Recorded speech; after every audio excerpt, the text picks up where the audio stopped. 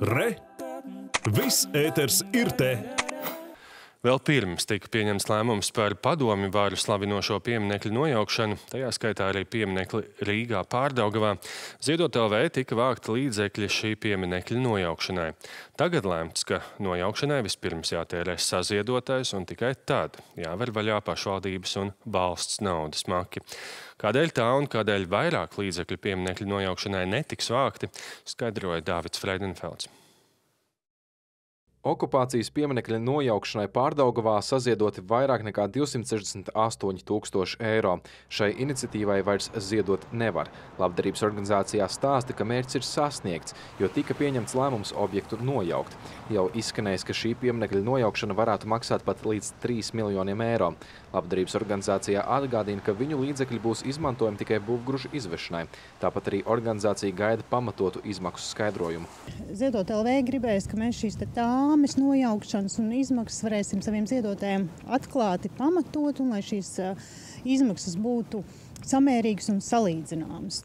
Organizācijas vērtējumā no valsts puses ir nekorekti vēlēties, ka visu pieminekļu nojaukšanai vispirms izmanto ziedotu naudu. Tas būtu jādara no valsts budžeta. Mēs vairs nepiedalīsimies, jo šī brīdī tas vairs nebūs tāds pilsonīgs akts par padomju mantojumu attiekšanos, bet tas būs varbūt nu, palīdzēšana jau valsts un pašvaldības budžetam, kas nav mūsu labdarības organizācijas mērķis. Pieminekļu nojaukšanā jābūt vienotiem, arī finansiāli. Tā uzskata Saimnes izglītības, kultūras un zinātnes komisijas priekšsēdētājs. Tieši šī komisija lēmus, ka valsts seks tikai pusi no izdevumiem.